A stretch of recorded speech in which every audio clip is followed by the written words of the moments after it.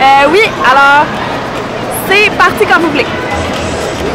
Bonjour tout le monde, je suis ce matin au défi sportif Altergo.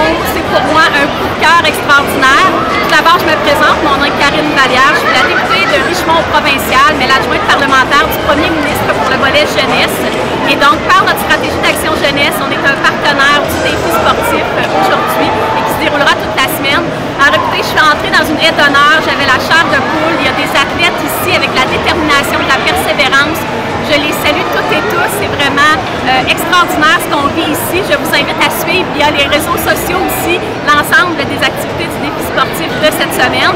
Et pour connaître moi-même en ce moment, la vie avec des limitations physiques, je le sais à quel point ça demande beaucoup de persévérance pour justement avoir accès un peu partout.